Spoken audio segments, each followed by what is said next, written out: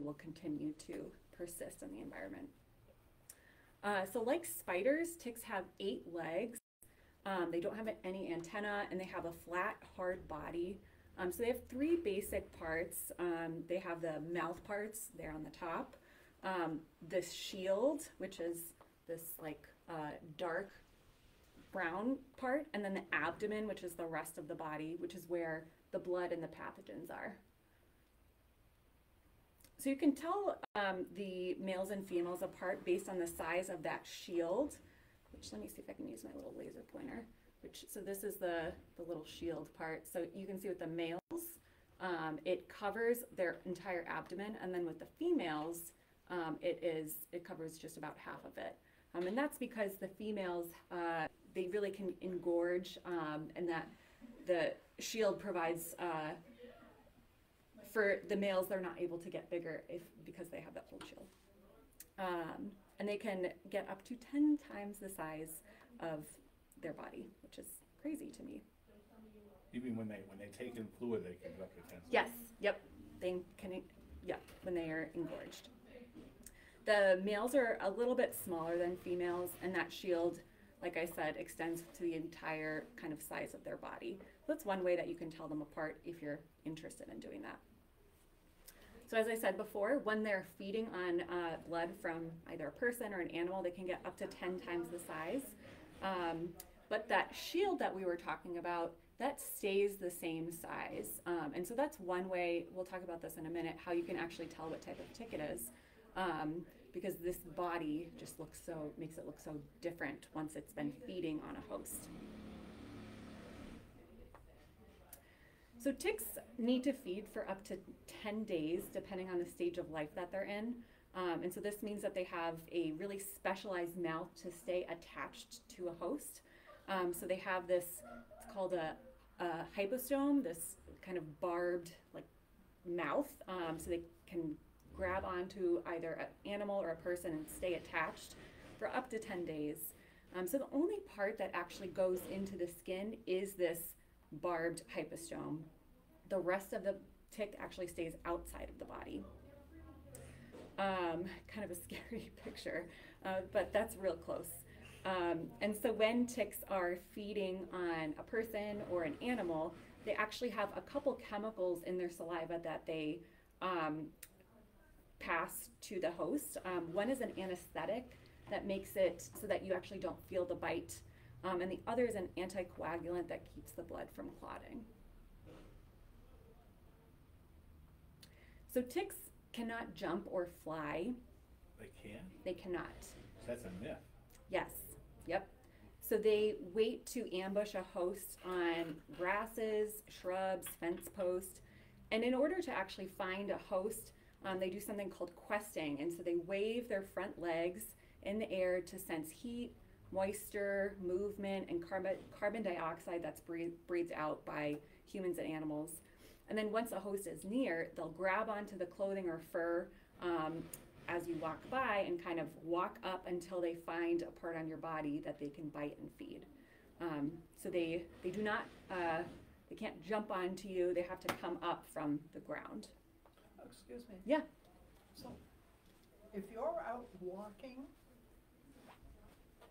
they come up your, they're from, they can't come off of the trees or the, or the, or the, um, So in theory, branches or anything like yeah, that? yeah. So in theory, because ticks can attach to birds, um, they'll feed off of birds. Yeah. They, in theory, could fall from a bird, but once they've um, had a blood meal and get engorged, they're not looking for another blood meal at that time.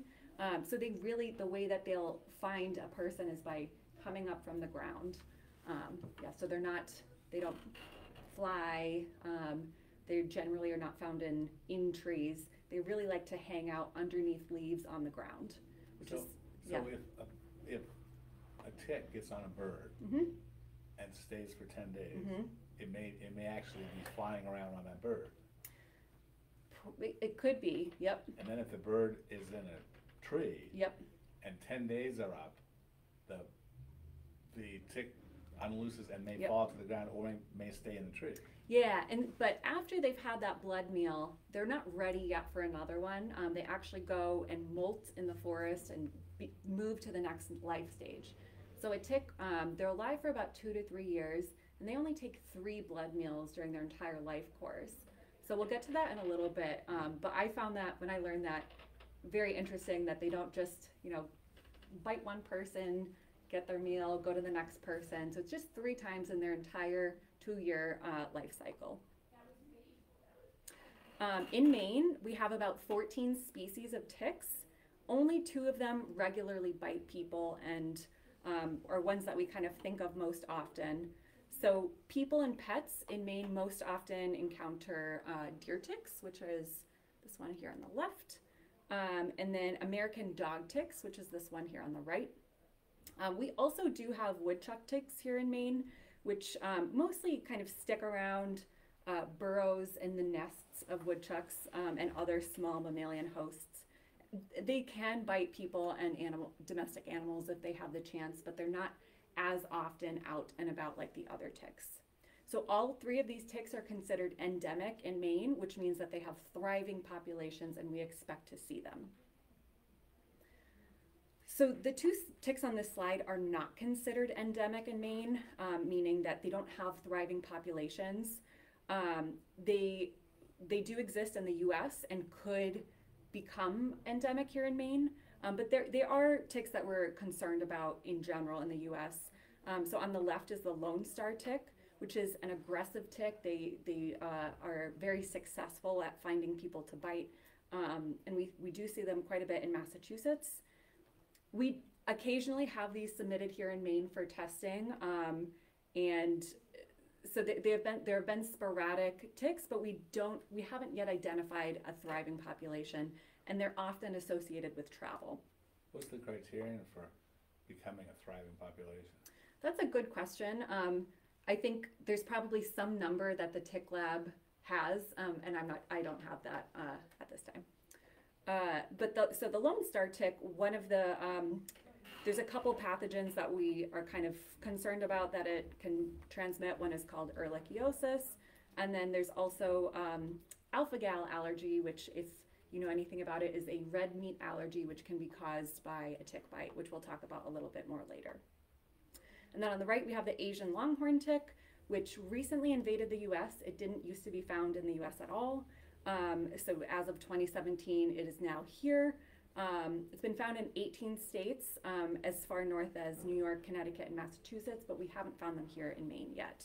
Um, in other countries, they spread pathogens and cause disease, but we haven't determined that they've done that here yet. So we don't know if they cause any disease here in the US, but research on that is ongoing. Uh, so we'll talk about the life stages, and this, this, well, you know, this kind of gets a little bit like but sciency and biology um, I think it's helpful to understand when you could get bit and how often ticks actually bite. So all ticks have four life stages. They start as an egg, they develop into a larvae, which are baby ticks, and then turn into nymphs, which are teenage, and then adult ticks. Um, nymphs and adults all have eight legs, but the larvae actually only have six legs. Uh, the larvae or the babies are about the size of a period in a 12 point font. They're very tiny. Um, nymphs are about the size of a poppy seed, and adults are about the size of a sesame seed. So, deer ticks um, are known as three host ticks, which mean that they only feed on three hosts during their entire life cycle, which lasts around two years. So, in the summer, the eggs hatch into larvae, and then they look for a small animal to bite and feed on, like a mouse. Once they feed for two or three days, they drop into the forest floor and they stay there for the winter and fall um, while they molt or grow into nymphs. So during that period, they're not seeking out other people or animals uh, to, to feed on. They're kind of hunkering down and being protected while they grow. And then the nymphs, which are kind of the teenagers, come out during the next spring and look for a small or medium sized mammal to feed on, like chipmunks, raccoons. They feed on them for about three to five days and then again drop up off onto the forest floor, stay there. And then over the summer, they molt into adults. So, kind of between that stage, they're again not looking for another meal until they've turned into an adult. Then the adults come out during the fall and look for a large size mammal like a white-tailed deer, a dog, or human. And the, the adults will actually mate on the host. So that's kind of why we think of deers as being a problem with deer ticks. Um, the, the ticks find the deer and mate on the deer. They feed for eight to 10 days as well, drop off onto the forest floor, and then the females lay eggs, and then they die. Um, so if the adults don't find a mammal to bite on during the fall, they'll hunker down for the winter, stay protected, and then come out when the temperature is right to find um, a someone to feed on. Excuse me? Yeah.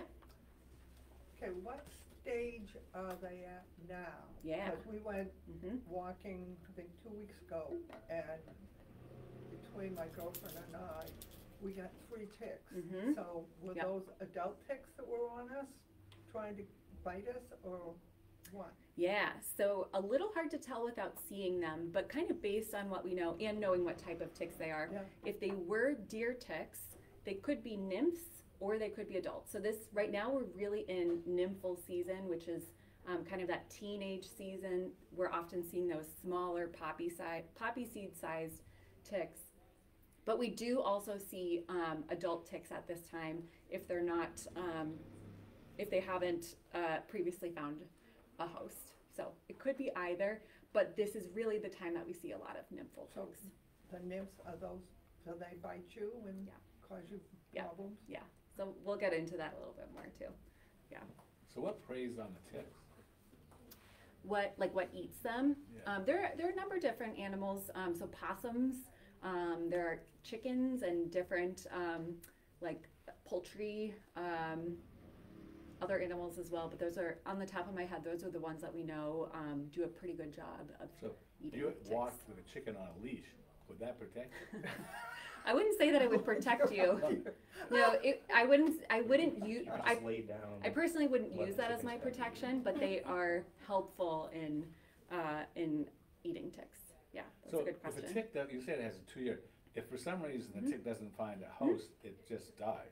So yeah, so they for some life stages they'll go into the forest and hunker down and then come back out later. But after a period of time, if they can't find a host, they do die. So just one, quick- Mhm. so, I don't remember, I mean, I, s- I- obviously, we- there were ticks in the fifties and the sixties and the seventies. What happened to make them Yeah. so fearsome? Yeah, that's a really great question. Um, we'll kind of talk about what conditions they thrive in in a little bit, but um, a lot of it has to do with uh, the way the climate has changed. Um, we have warmer weather, um, which really contributes to ticks being alive or, or being allowed to be alive. Um, So were they always a problem, it's just now they live longer or they're spread more?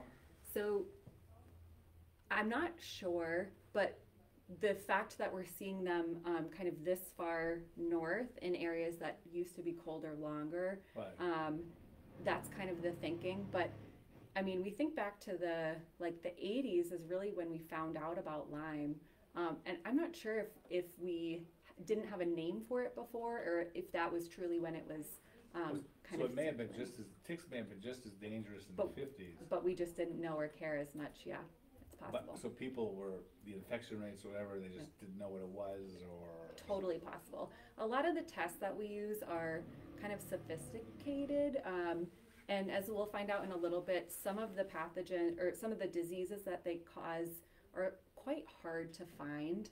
Um, so I don't have a great answer for if it was happening back then and we don't know, but there there are definitely reasons that we're seeing more of them. Right, I was wondering if it was Yeah. just, it became more Yeah, that's a good question. I'll have to look into that. I'm I'm not totally sure. Yeah. Um, so a lot of what we're going to talk about is deer ticks because, as we'll find out later, those are the ticks that we're most concerned about here in Maine. Um, so deer ticks prefer to live in protected environments like forests rather than in open areas. Um, so they're they're a lot more common in deciduous forests, which you know means the trees lose their leaves every year, like oaks and maples. Um, and the ticks can often be found here in the leaf litter on the ground where they can really shelter from cold temperatures. They can also shelter from the sun and the, and the wind um, because ticks can dry out if it's too dry or too hot for them. Um, they can also be found in bushes and shrubs where there's not only shelter but there's food like mice, deer, and other small mammals and birds. Um, and again, really, we're thinking wooded areas because if they're out in kind of a dry, open area, they'll dry out themselves. So this sort of place, we would not expect to find deer ticks. Dog ticks can thrive in this environment, but we there are no, we're not as worried about dog ticks because they don't cause disease here in Maine, thankfully. So, so ticks will travel on a host, but if I'm a tick and I somehow find myself in the middle of the field, am I gonna start walking to the forest? Um, yes, if you can make it, yes. Yeah. So I'll, I'll literally walk along to hit that, hit the forest? Yeah. Um, you might find a host before then if you're at that life stage. You might die. Um, that you do not want to be here if you're a deer tick. So this kind of goes back to seasonality, like we were talking about. So deer ticks peak at different times during the year. So we tend to see the largest activity of adult deer ticks here in the fall um, from September through November, and then another smaller peak in the spring, which, and that's because if they didn't find um, a host in the fall, they come back out in the spring. And then we see peak nymphal activity in June and July, which is where we are right now. And then larvae, which are the babies, are most active in the mid to late summer. And then the dog ticks are active from spring through summer with a peak in the spring. I know I found a lot of dog ticks this spring.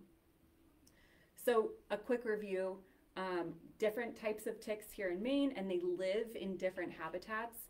So, deer ticks, the woodland edges, in the forests. Um, the dog ticks, they're good in those open fields and lawns as well as forests. And the woodchuck ticks, more in the dens where their hosts are.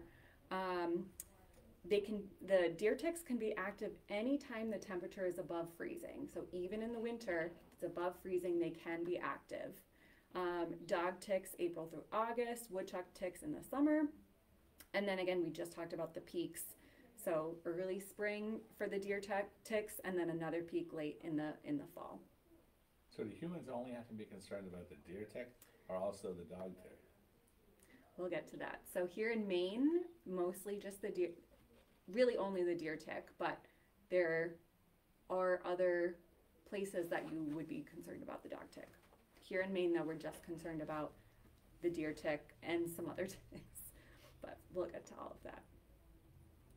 All right, so um, the UMaine Cooperative Extension has a tick lab, and they do a lot of fantastic tick surveillance. Um, and so here we can see a map of all of the submitted deer ticks in 2021. Um, and it, each dot represents one tick. And so you can see this is, I think, pretty much where we are right now a handful of ticks. But looking at the coast, um, they're, they are just, um, you know, full of ticks. But what I want you to, to notice is that deer ticks have been found in every county in Maine. Um, and we first found them in 1980s along the coast, but now they're they are everywhere. The highest population, though, of course, is this area. So do you think it's because they, hunting is very, very less, um, in, in the coastal regions, so they have a larger deer population? Like, I know MDI is huge, they Yeah. have, they don't, you can't hunt on the hmm and so they have of that problem with the deer tick. Yeah, that is a really great observation. Um, we'll talk about some of those hypotheses in a minute, but um, deer population per square mile is definitely a huge factor. Is that, does that though, does that map take into account population of those areas or no? So this is just the the actual ticks. The the like each one is one tick. So it has nothing to do with population density. Um, and so of course where there are more people, there are more people who can submit ticks. Um, and Well, where the there que- are That's Yeah. the correlation, isn't it? The more people, the more tick reports, hence more dots. Yep. There could be just as many ticks this guy, because there ain't no people here. Yep, um, so there are things that we can do to correct for that, um, Excuse me? yeah. If- What happens if you don't, you get bit by a tick and you don't report it? Because I know it costs money to send in your tick to find out what it is. Yeah, we'll get to that. So this is just one way that we surveil ticks. Um, so there are tick dragging programs where um, research, researchers, researchers go out and they actually collect ticks. Um, so we we know that this does not mean Mhm. these are all of the ticks. This is um, a representation of of what some of the data that we have. Um, really, just to represent that we have ticks in all of Maine. But uh, those are really good observations, and you guys should be epidemiologists because those are things that we think about. So, to kind of answer the questions about why, you know, this is happening and why in certain parts, um, there's a number of different things that we think about that influence um, the tick populations, both here in Maine and around the world. So, precipitation. This link isn't super clear as it is with um, other pests like mosquitoes, but we we think that it influences humidity, which is one of the really big factors um, with ticks. So ticks require a certain level of relative humidity in order to survive. If it's too dry, thinking about like the drought in summer 2020, um, they they need to find somewhere that they can shelter from that dry temperatures, like that the, the leaves on the forest floor, um, and they can't be out looking for hosts because they'll dry out and die. Um, this differs a little bit by tick species, but you know, particularly with the de- deer ticks. And then temperature. So degree days are essentially the number of warm days above a certain temperature in a year. So ticks require a certain number of degree days during their life cycle in order to complete their life cycle. Um, and so as we're getting warmer and warmer, ticks have more degree days, meaning that there's more parts of Maine that they can complete their life cycle in. And we'll look at some maps of that in a second. Um, host populations, so going back to your mention of um, deer, so in order for the tick-borne diseases to actually occur, we need to have suitable reservoir hosts, um, or hosts that allow, actually allow that pathogen to survive and spread. In particular, uh, the deer ticks really thrive in habitats with white-footed mice and white-tailed deer. Um, and one thing that we think influences the tick population is when deer density is around five deer per square mile. Currently in Maine, we range from five to 15 deer per square mile, so lots of deer. and I think um, I, I saw a paper about, I think it was um, maybe Monhegan Island, they like, didn't they like cull the deer a, Oh, yeah. a while ago to kind of take care of this? Swan Or Island try to, just yeah. started Okay, going through the process of hunting because it was so bad that right, they couldn't and it anymore. Yeah, and the the reason deer are so important for deer ticks is um, they like to mate on deer ticks. So they go there, they find their mate, and then they lay two to five thousand eggs, which is crazy. After, after the, after they get off the deer. Yeah, they mate on the deer and then they get. They off lay the eggs out. Yeah, yeah, but they yeah they mate on the deer. Um, and then habitat availability. So different, like we were talking about, the different habitats that they're able to survive and thrive in. Um, we have a lot of trees here in Maine, and so that kind of influences that as well.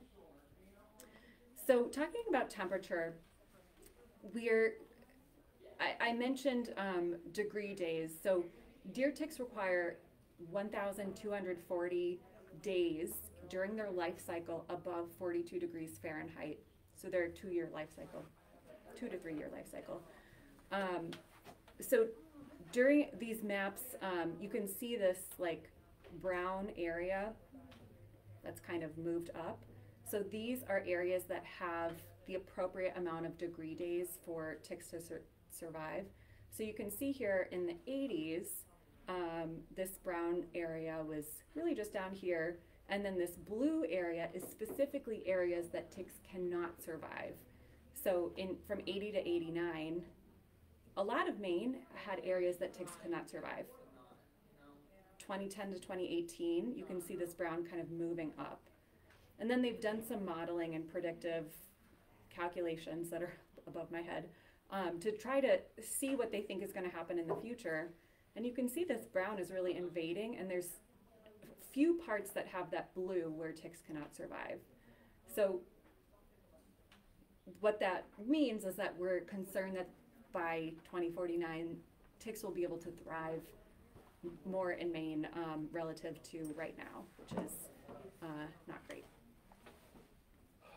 So anyone can get a tick-borne disease. We're going to move into the disease part. Um, based on the data that we have here in Maine and in the rest of the U.S., we find that people who are at most risk are people who are 5 to 14 years old, people who are over the age of 65, and people who spend a lot of time outdoors. And we're not sure if there's, you know, some biological reason for kind of these age groups or if it just has to do with um, being outside more. Maybe these are age groups that spend more time outside. Um, I don't have that answer, but You say chil- Anybody. When you say children five to fourteen, so if you took a baby and let the baby crawl around that's under five, and it's, it's gonna get it. oh yeah, So it's, Yep, any, so anybody can And- get it. But these are, these are just the groups, when we look at the data and we see who has the highest amount of tick-borne diseases, tends to be these age groups. Um, but anybody can get a tick-borne disease, for sure.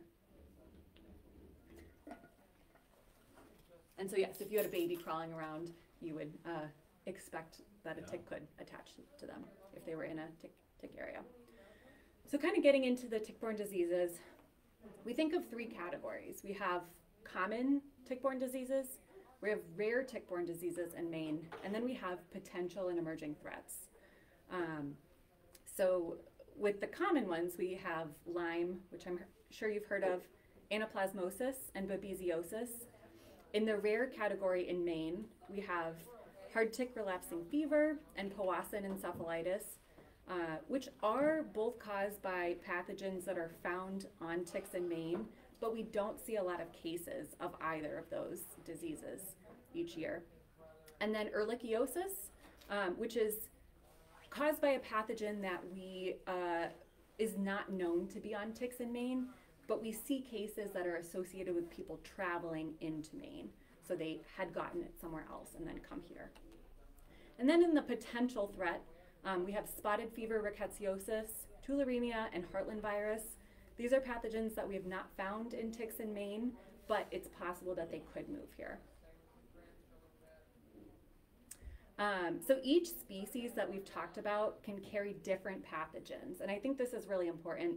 Um, I know I find a lot of dog ticks in my yard, um, and as we'll see in a moment, um, not something to be super concerned about at this time. Um, so yeah, so back to so deer ticks can cause Lyme, anaplasmosis, babesiosis, hard tick hard tick relapsing fever, and Powassan. Um, dog ticks in other places have been known to cause spotted fever, rickettsiosis, and tularemia. Um, we've sampled many, many dog ticks over the years in Maine, and we have never found those pathogens, which is very positive. We'll continue testing. And then woodchuck ticks can also cause Powassan. And then Lone Star, Ehrlichiosis, tularemia, and Heartland virus. And all of these diseases with the asterisk are not found in ticks in Maine. Um, so what we're really kind of uh, most concerned about at this time are these diseases with the deer ticks and then the woodchuck ticks with Powassan.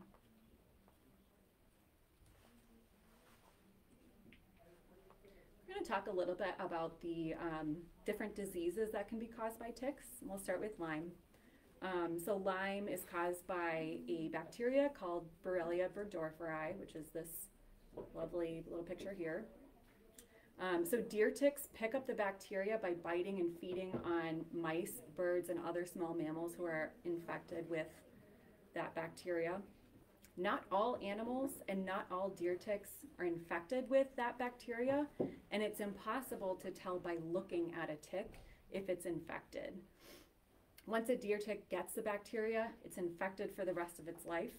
Um, and people and pets can get sick with Lyme disease if they're bitten by a deer tick that carries that bacteria. So where do they pick up the bacteria? Yeah, so they the deer the tick picks it up from a like a mouse, a bird, something else that has the bac- that bacteria. And I'm actually not sure where those animals get it from. I'm not sure if when like a mouse, um, like I don't know if they get the, it from each other or whatnot, but when uh, the tick takes a blood meal from one of those animals, then it infects them, and then they're infected forever. As we talked about, though, um, they only take three blood meals, so they only really have three chances to get infected, um, and so not every tick bite means that you're going to get Lyme disease, but good thing to be very aware of. So the bacteria lives in their abdomen, so kind of this part down here. And so once one of these ticks bites you, it can take 24 to 48 hours of it being attached for the bacteria to replicate in its abdomen and then move from the abdomen into the salivary glands and then into a person. So 24 to 48 hours of having a tick on you before you're infected with Lyme. So any, any time up to the twenty-four hours, if you remove the tick, you're now safe? No.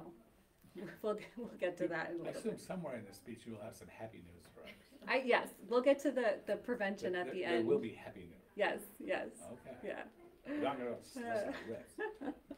Yeah, this is, uh, doesn't make me a very popular I guest by can- giving this yeah, presentation. So far, it's like, at least it's after lunch. Yeah. uh, so Lyme, Lyme disease, um, typically symptoms occur in the first month after a bite. Um, so early symptoms include fever and chills, fatigue, muscle and joint soreness, and in many cases a bullseye rash. And aside from the bullseye rash, those are very general symptoms, um, like it, you know, feels like the flu. Um, so it's really important to kind of assess if you've had tick bites because this can be hard to differentiate from other illnesses. Um, the bullseye rash is, um, we call erythema migrans, but also bullseye rash. So it's a slowly expanding, usually non-itchy itchy rash that looks like a bullseye on some people. Um, it can appear anywhere on the body, not just where the tick has um, bit. So it's really important to kind of look all over your body if you're around ticks um, for something like this. Um, and I just want to point out that they look different on different people, but the important thing is that they start as one size and they grow. Sometimes they really look like a target, and sometimes they they just look a little more like these ones are kind of like these. There's like three circles, but they got bigger on this person. This one's a little bit uh, like purple, and this was behind the knee. But here, this is actually just irritation from a tick bite. And on this person, the redness did not grow. And so um, this actually was not Lyme disease in that person. So if you ever find a tick on you and see some redness, I always think it's a good idea to kind of draw around that, like where that redness is occurring. And if you notice it expand out, that's when it's a good time to call your doctor. Um, if you don't catch and treat Lyme right away, um, it can progress to uh, late symptoms of Lyme weeks or years later, and so this can include some arthritis, um, neurologic symptoms, heart problems.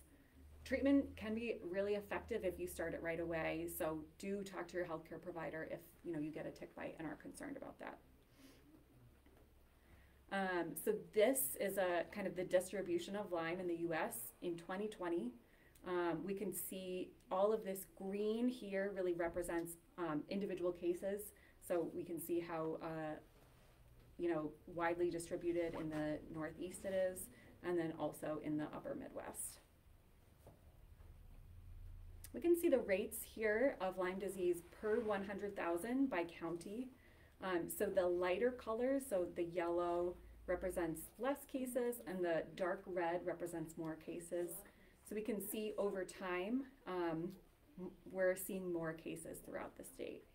I do want to note that, you know, I know Piscataquis is um, popping up red here, and there definitely are more cases in 2022, but this is, you know, there's, I think, 17,000 people in the county, and um, this is per 100,000 people.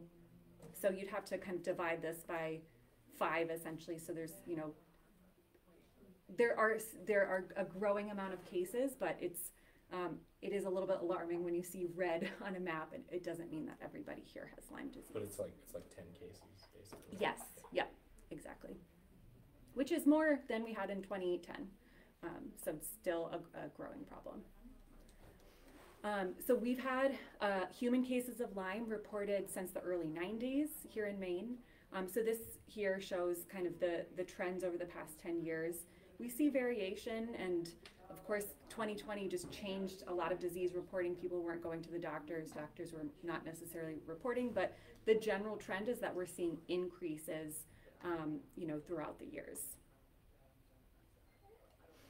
Um, I find this really interesting. So this shows the um, the onset of symptoms from confirmed Lyme disease cases um, over a year, and so we can see that there's these really obvious peaks in the summer season. So this means people started experiencing symptoms in the summer, and that corresponds with um, kind of the the like tick activity that we were seeing before.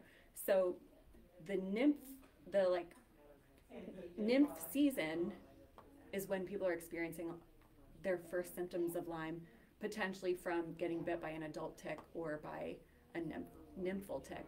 The challenge with the, those nymphs is they're so small. They're like the size of a sesame seed. Um, so they can be, sorry, a poppy seed, which is even smaller. And so those can be really challenging to find on your body. Um, this just shows cases by age group.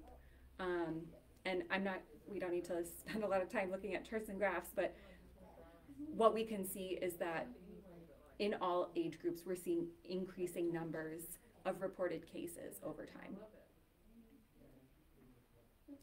Um, we don't need to spend too much time on, on this one either, but um, this is showing the different, um, the percent of our cases here in Maine that have different symptoms. So this red line is the percent of cases that had that, that bullseye rash.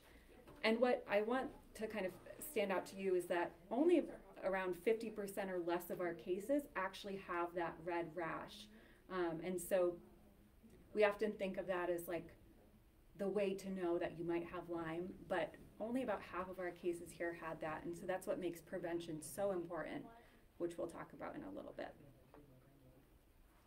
Move on to anaplasmosis.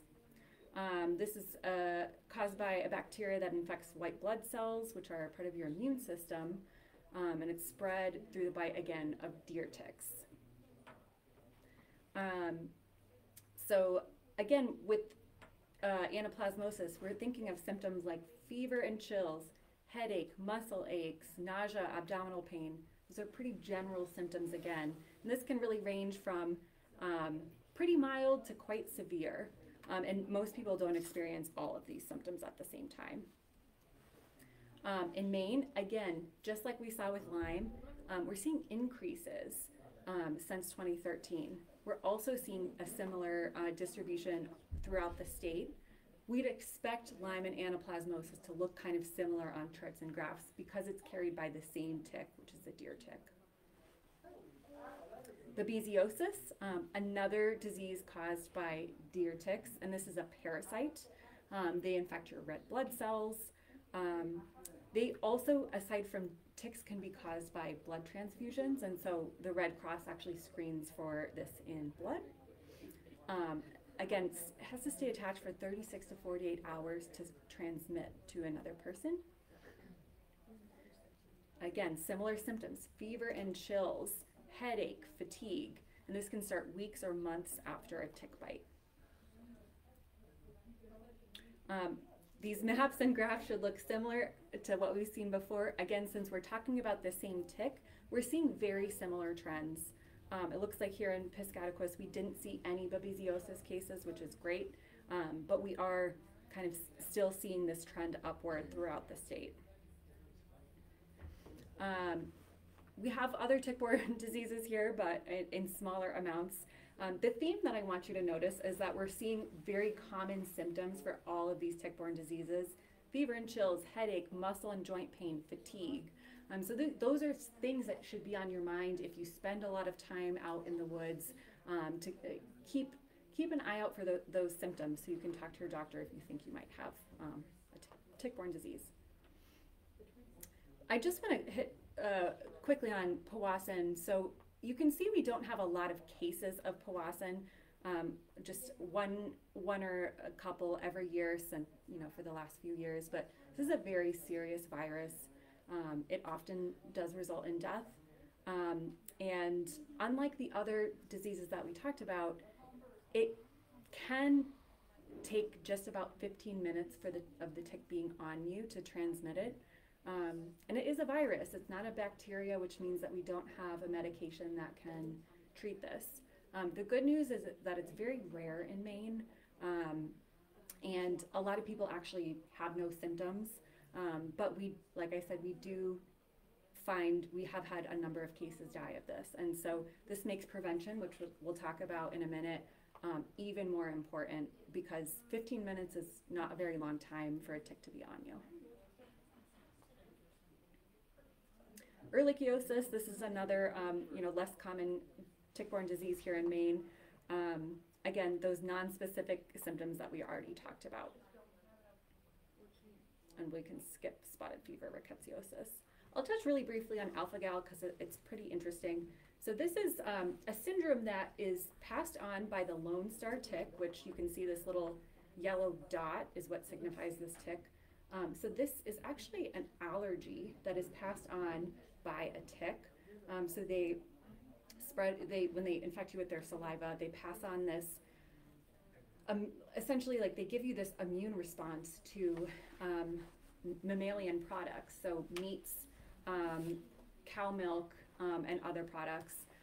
This is, you know, we don't think that we have a thriving population of Lone Star ticks here in Maine, but this is definitely something that we're still very uh, aware of and thinking a lot about because um, alpha gal is in a lot of things, a lot of foods. It's in some medical products, um, and we want people to be aware of this. So after someone has been in contact with a Lone Star tick and had this transmitted to them, um, some period of time later they might eat um, a mammalian product, and then two to ten hours later start experiencing symptoms of a, severe allergy, which could include anaphylaxis. Um, so this is is not something that's incredibly common um, in the U.S., but we are aware of it, and um, it's something to know about when you're talking about tick-borne diseases. So now let's get to how you can avoid all of this. Um, there's a lot that we can do to prevent tick bites. Um, kind of the best way to go about this is preventing them altogether. So we, we kind of have a couple buckets that we talk about. So um, the first is wearing protective clothing. So wearing long sleeves, um, tucking your socks into your pants. Because if we, we talked about ticks crawling up your body, and so if you remove that opportunity for them to, you know, get under your pants, you've kind of removed um, some mode of transmission. Wearing light colored pants also is helpful. These, you know, the, this color pants makes it really hard for me to actually see ticks or bugs on them. But if you're wearing like khaki or white, you can see that tick kind of stand out against it. Um, you can treat your clothing with uh, permethrin. So this is a product that you can um, you can actually buy clothes that are already treated with this, or you can purchase it at like a sports sporting goods store, and um, you treat your clothes, and it repels the ticks. So it stays on for a couple washes, and then you can just reapply it in a little like after you've washed your clothes. Um, it's a really fantastic product to put on all of your clothes that when you're going outside. And then also, if you have pets that go outside, dogs and cats, talking to your vet about um, products that prevent them from getting ticks. There are certain like repellents that they can use um, because, as we know, ticks can bring, or pets can bring the ticks inside, um, and then you have ticks in your house, which is a not not fun problem to have. And I'll take this moment to remind you that again, ticks can be out anytime that it's above 30 degrees. So these are strategies that you would want to use year round. Yeah. Okay, there's, um, products you can buy like, um, any of the bug sprays or Yep. anything, they spray, uh, Yep, but you don't have, oh, okay, you have, um, yeah, I don't see up there that you have one that's high in DEET. Yeah, so so there's a whole host of EPA approved repellents. So DEET is one of them. Um, permethrin, which we talked about before, is another one. Um, so we were, the previous slide is kind of before you're actually doing something. But once you're going out, we would definitely recommend that you wear a repellent. Um, so yeah, DEET, permethrin, um, picaridin. Um, also, like if you're in an environment like this, staying in the middle, um, while ticks can kind of be in the the leaves here, they can also really be on that the ed- the forest edges. So staying on groomed trails um, is really important, and also just checking for ticks if you're really out in the woods for a long period of time, um, seeing if you have any on yourself during during your recreation. Um, so this is kind of the list of um, products. Um, so these, the EPA approved products are, um, it means that like the, the active ingredient in the product um, has been tested. We know that it works to repel ticks um, and how long it, it works to actually, you know, prevent them. We also know that these things are safe if they're used properly. I'll take a moment to point out that um, often you can buy tick repellents that are also insect repellents, but ticks are not insects, and so um, a lot of these, you know, work for both both things. But it's always important to kind of check the label and make sure that you can use it for both. Um, but yeah, DEET um, is you know a pretty common one. And then after, this is, um, you know, uh, very important. So after you've spent time in, you know, high grass in a forested area, um, check for ticks. So ticks, um, they really like uh, certain parts of the body. So um, like protected areas, areas that might be dark. Like if you have, um, like often we, we find them like in the hairline, sometimes in the ears, armpits, um, like or, along, your waistband. So after you come back inside, check your body, take a shower. That can both help to wash the ticks off and give you the opportunity to check out and make sure you don't have any. Um, also, throw your clothes in the dryer for 10 or 15 minutes after you've been outside and then put them in the washer. Um, the dryer will kill the ticks and then you can wash your clothes as normal. Um, let's see if I'm missing anything here. And so while I talked about that one tick or that one disease that occurs in could occur in 15 minutes, the most common tick tick-borne diseases that we see in Maine take 24, 36, 48 hours. And so if you make a habit of doing this and really checking to make sure that you don't have an attached tick, um, that can really go a long way in preventing these more common tick-borne diseases.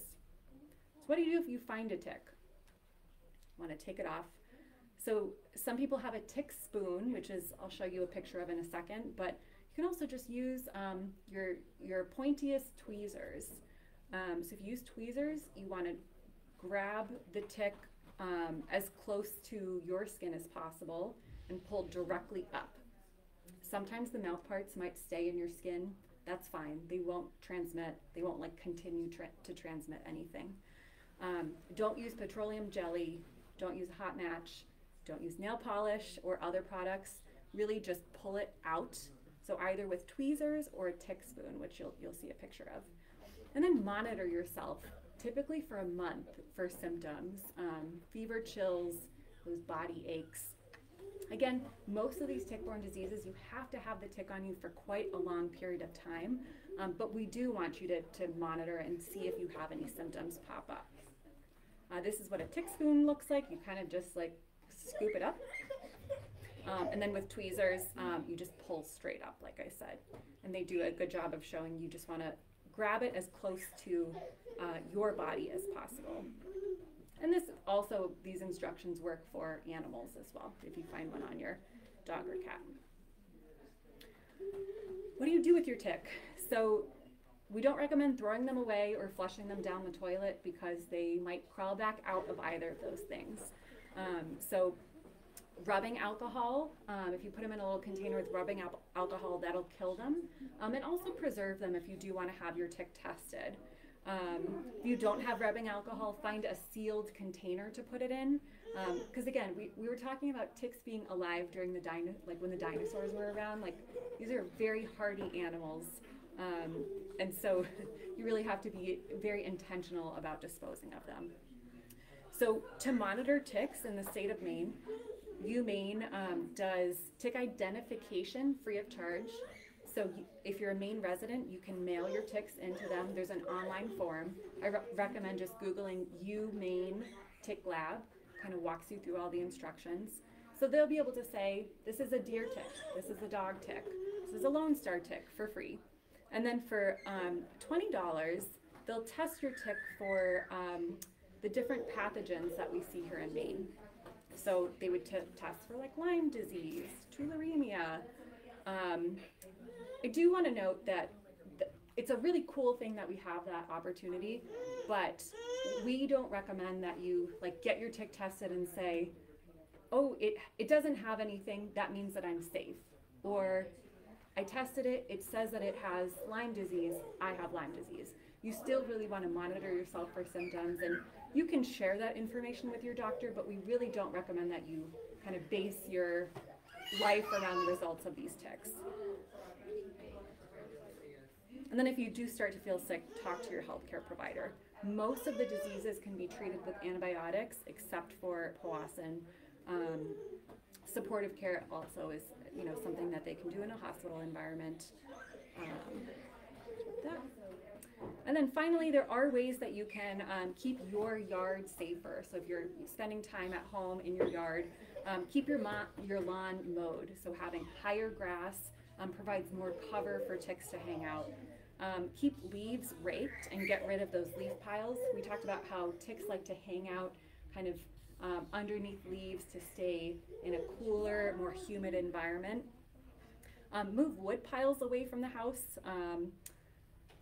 and recreation areas. Um, move bird feeders away because we know that ticks like to hang out on birds.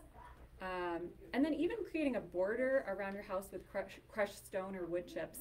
Um, I, I haven't heard too much about how this this um, works in action, but I guess it can kind of help like provide a barrier for ticks that you know they don't want to cross these stones um, and they might dry up and die before actually getting to you so that's kind of it. Um, I, I know you guys asked some questions along the way but i'm happy to take any more questions that you guys might have. I know i just uh, word vomited a lot of tick information at you guys so um, happy to try to answer any other questions you might have. So when, when you remove them, you don't have to get them per, I always heard that if like the head's still attached or, or if you squeeze it, it could like spit the stuff into you, is that not true? So this is that's why we have a specific way we recommend you remove it. So if you pull if you like really um like don't grab its abdomen, grab as close as you can to you and pull straight up. Yeah. Um and then if its mouth parts are still in you, like that's that's okay.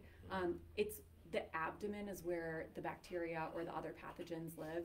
Um, and so, you know, that's not going to be inside your body if you've removed um, So also does like wrap, I've heard people like wrapping duct tape around their ankles, does that actually work? Or is there any science behind that, or is it just like something that might work? Yeah, that's that's really interesting. I actually have not heard of that. I that you're I mean you're creating a barrier, so I can't see why that wouldn't work. It might be a little uncomfortable, but um, Yeah, that's yeah, that's definitely one way to do it. 'Cause I've al- always heard like tuck your pants into your Into boots your and socks, then wrap yep. it, wrap the duct tape like backwards so Okay. the sticky side's out. Oh, that's a really great idea. So then if the Yeah. ticks crawl up, then they just stick directly to the duct tape. Yeah. But I've never actually done that and then seen, like you see pictures on the internet where there's fifty ticks stuck to it, but Oh my gosh. that's probably fake, but. I mean, there are some areas where there's certainly that many, many ticks out. Um, That's a doubter. that sort of makes me think of um, I've gotten the advice to use like a lint roller on my dog. Um, Uh, haven't done it yet, but uh, No, it's not, it's not the garlic that you wear around your neck to prevent, it's, that's vampires, right? right. But actually, lemon eucalyptus is protective against ticks. Should So you wear it on your ankles then? you, yeah, you, you.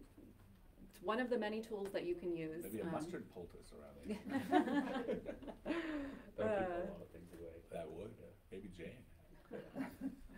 And um, I will note, so Maine, Maine CDC, um, this is our where's my mouse? This is our phone number. Um, This wasn't the good news. Why are we getting to the good news or are you still saving it? that's You're that's that's saving it. Yeah. That's it, no good. I, I can't really speak to the vaccine, unfortunately. That's kind of a, a whole different uh, So you ball think- game. But you think Lyme, Lyme disease existed before nineteen seventy? We just didn't know what it was? that's a really good question, and I I could like speculate, but I, I don't think that I know enough to give you a good answer. Yeah. So I've heard, I've heard too that, um, the tests have a lot of false positive and false negative for Mm. Lyme, Well, that's yeah, true. that's a really good point. So yeah.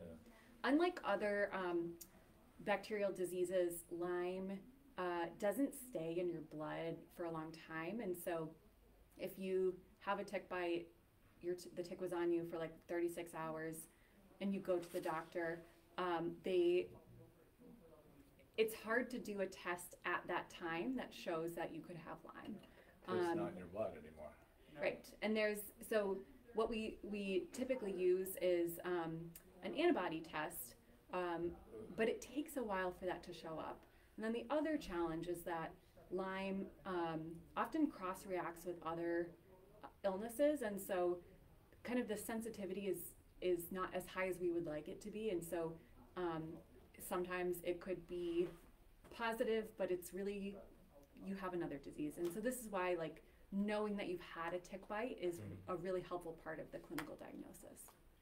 Yeah, I've, I, I have some friends that have Lyme, and they basically just said that their doctor gave them the test, but said that it wasn't Mm, hundred percent. Yeah, And if yep. you have the symptoms and you know you had a tick, it was probably Lyme, and they just treat it as if it is. That get that definitely happens. Then they get okay? If if you let it go longer, it Yeah. can like relapse and it can have Yep. more symptoms. So Yeah. you might take some antibiotics and knock it down, and then a year later you could have the same symptoms recur, and then you have to take some more antibiotics, so it can kind of live on there- in a dormant. Is there a book or a resource that librarians have where you say, depressing topics to have lectures on, and you got this one, and I was like, why did you pick this one? Like, Why did I come? Good It's very, it's very informative. Yes, but it's depressing. We're trying I to know, keep I'm you in your really house fun at Kevin, away from the rest of town. Jeez. I'm gonna get a chicken now. yeah, I wouldn't recommend a possum. That's the other one that can be helpful. But yeah, uh, if you were gonna get a chicken anyways, it might be. No, but the possum would be a good idea because they're amusing animals. That's right. They don't, they don't do well up And you here. get eggs from the And you chicken. get, well, that's true. then you have other diseases to worry about. So, you know. Oh, wait, is next week the Black Plague? Is that when you put that one coming? Well, I appreciate you guys coming and listening. I know it's yeah not the the most fun and exciting topic, but thanks for asking questions and uh, Very good. taking the time to listen. Yeah, very. Yeah, We're more enlightened now. So you wanna talk about, again, you, you just grab a hold of it and lift it straight up. yep.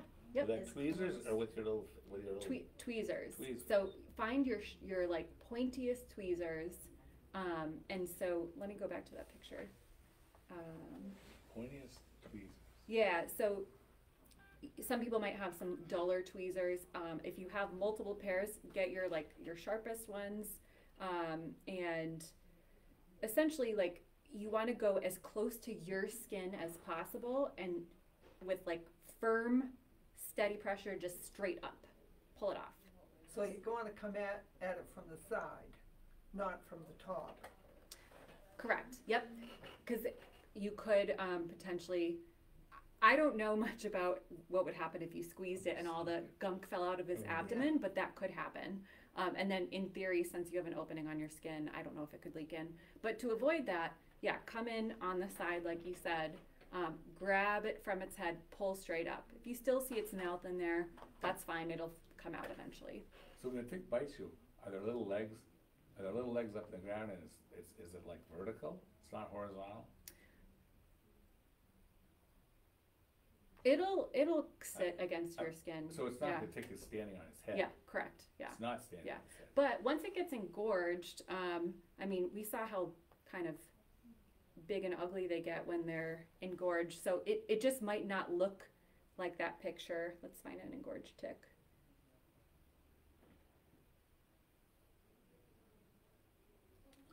Really far back, get I guess. They get like raisin sized or maybe a little Yes. bigger. So, There we We go. talked about this, but I was not paying attention because I was attracted to small children. Um, it's like, there are babies over there. Um, so when I was a kid. Yeah. They used to use matches. Don't- So they, does that, like, they used to put like a match down and then they would like come out and then they would like pull out or Yeah. whatever. I think the concern is that that might actually harm you in another way. Sure. Um, Well, I I thought mean, you'd be yeah, they burned, burn, yes, that but, be. yeah, cause they used to, I mean, Yeah. I watched people Yeah. do it all the time where they would like see a tick and they like light a match. Yeah.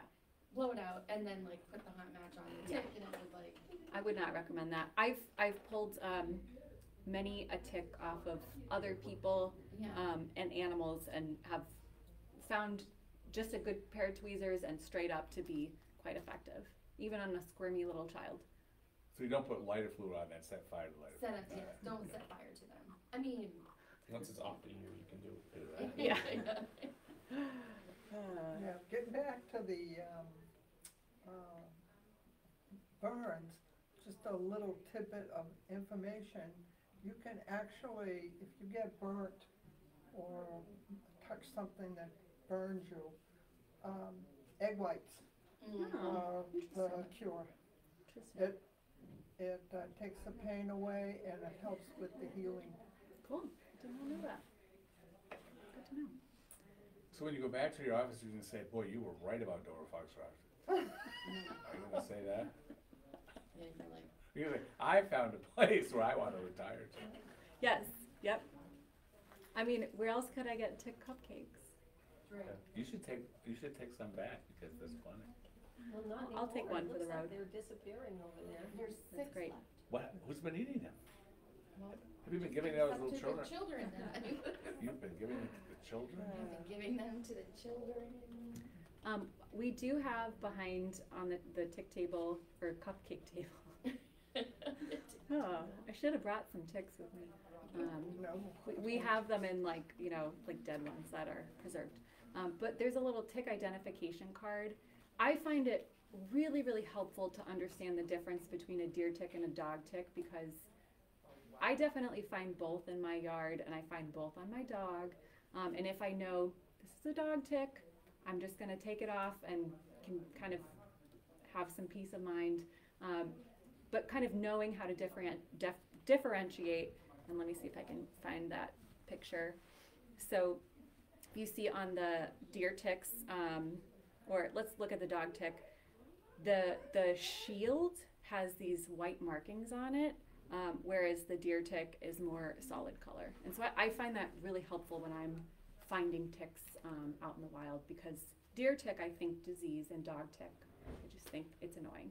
So does that mean that chicken doesn't have to worry about, uh, a tick getting on its body? I don't know. I'm not sure. See all those black. But other, I mean, they- other- they other definitely chickens eat would them. No, Those are but just the chickens love- will eat it up, yeah? love to Yeah. eat I'm. I'm not. Yeah. I'm honestly not sure. I wish I knew more about kind of the guinea whole. hens are better at getting ticks. They eat more ticks than chickens do. What does? Guineas, like the little, Oh, the guinea little fowl. tiny guinea Yeah. fowl. Yep. That's the Yeah, Do you have those The on other Spring ones Street or?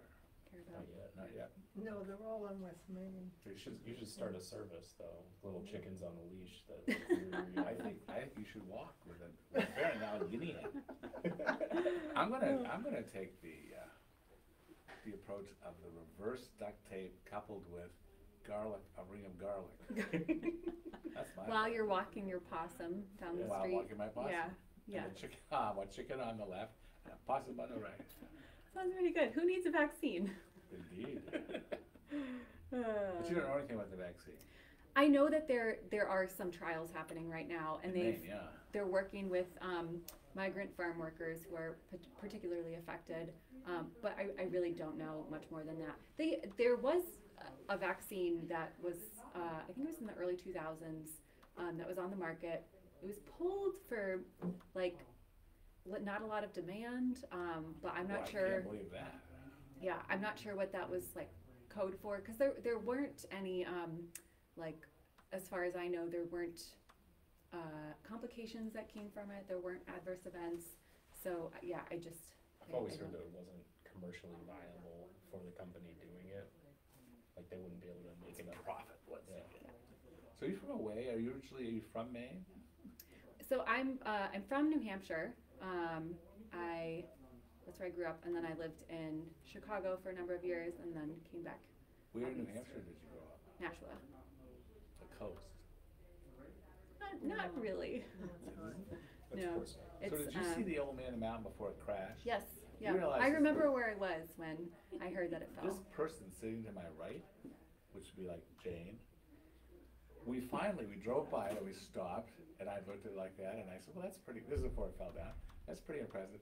And Jane kept looking, and then she asked, where was it? And I couldn't, I couldn't explain to her where it was, but she's the only one that looked at the old man mountain and didn't see the old man in the mountain. I have a lot of pride for it, and when I try to describe it to people who are not from New Hampshire, they're like, "And why is it on your license plate?